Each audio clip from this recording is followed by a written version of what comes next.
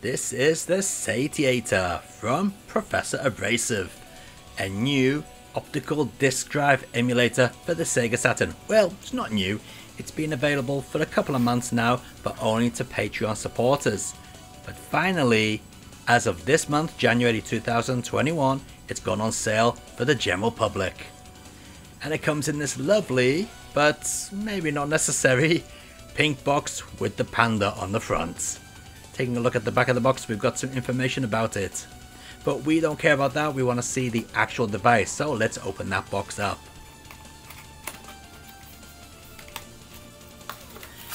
So inside the box we have just the device itself and it comes in an anti-static bag, so that is good to see. So let's get a pair of scissors and open up this bag.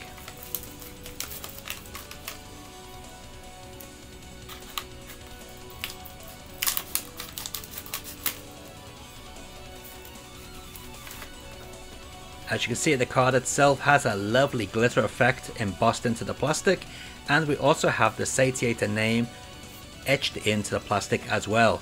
It looks quite smart and the general build quality does feel rather good. The PCB itself is a nice red colour and as you can see the pins are very well laid out there, lovely and clean as to be expected and on the top of the machine we have a micro USB in and the SD card slot. There's also a little pull tag to help you pull out the card once it's slotted into the video CD port. But what we need to do first is get the software onto this card. Let's go over to the PC.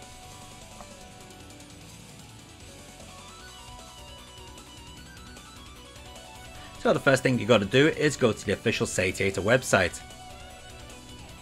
Click on the getting started option on the left hand side. Now you will need two files. You will need the menu file and the firmware. Go to more details, firmware and menu. In here you will learn about needing the menu bin. Basically, it's just one file you need to get. So for the SD card, any good brand will do. It's known that this will work up to a 1TB card and beyond. Apparently there is no limit, I'm using a Transcend 256GB card. So installing the software is very simple. On the screen here you can see I've got the SD card over there, known as USB drive F, and on the other side we've got the files. Just drag and drop the menu bin folder onto the USB card, as it is. Make sure it's in the root of the USB card.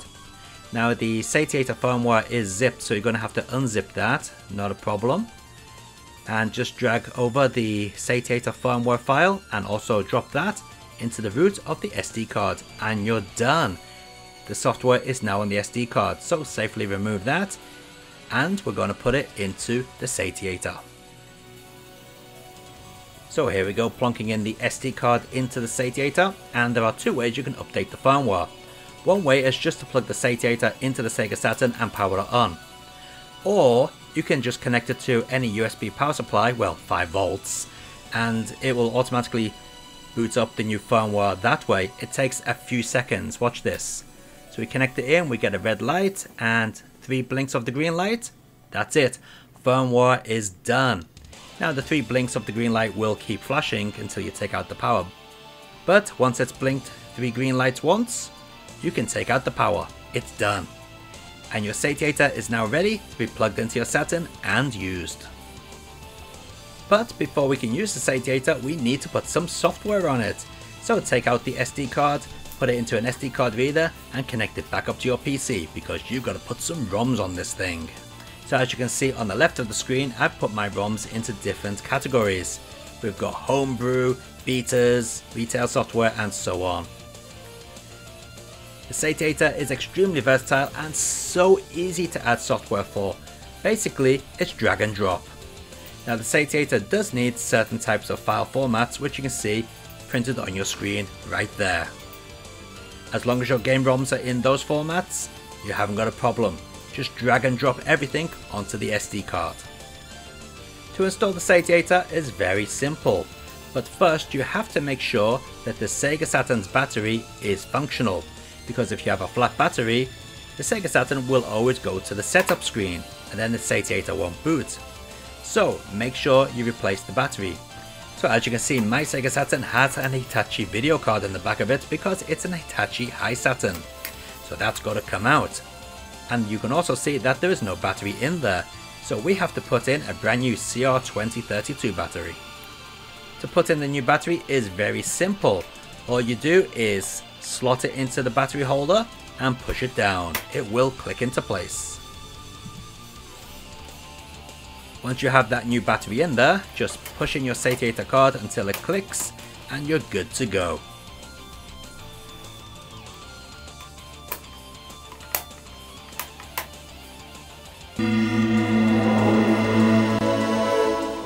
After switching on the Sega Saturn, once the Satiator is plugged in, it will briefly go to the CD playing screen, but then it will fade out into the Satiator's menu, as you can see. Now the menu is very very bare, but it is very easy to use and quick. So the C button will go back menus and the A button goes forward. It also features the ability to flash an action replay card, if you got one plugged into your Sega Saturn that is. Using the system is very very simple and very easy. There's nothing to go wrong. Games load just as quick as a normal CD. Maybe a little bit quicker, but not by much.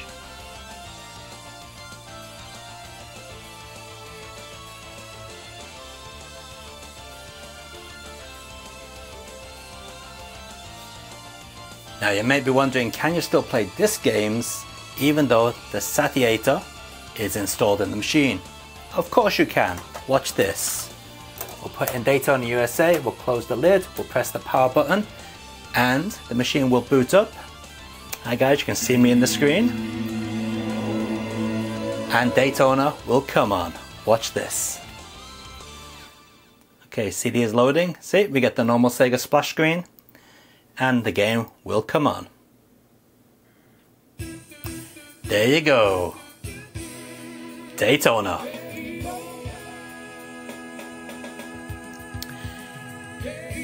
And if you want to go back to the Saturnator screen, no problem.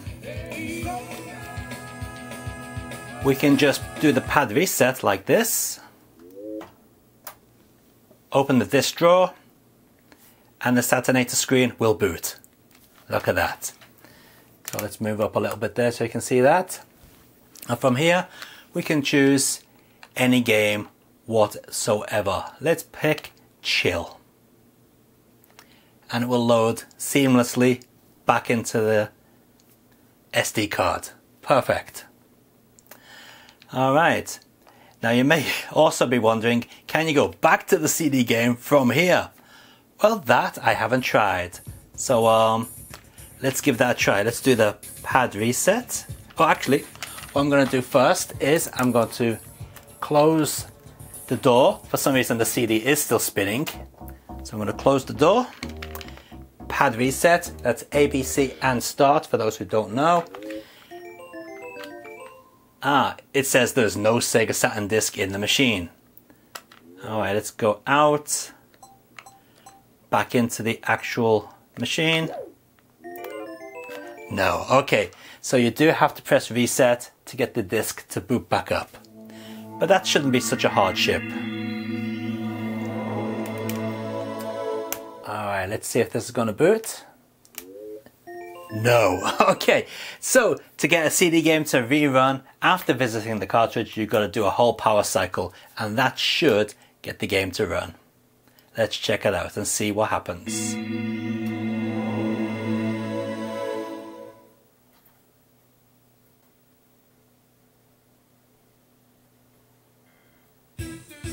There we go.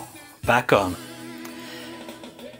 So there you have it. That is the Satiator for the Sega Saturn. A very good optical disk drive emulator. Now it does cost more than the mode and other options, but I think this is the best one because it allows you to keep your original drive and you can still use original games. So if you don't want to gut your working Sega Saturn, this is the one to get.